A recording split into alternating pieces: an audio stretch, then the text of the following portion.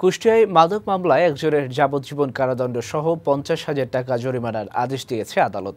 দুপুরে জেলা নারী ও শিশু নির্যাতন দমন বিশেষ আদালতের বিচারক মুন্সী মোহাম্মদ মশিয়া রহমান এই রায় দেন।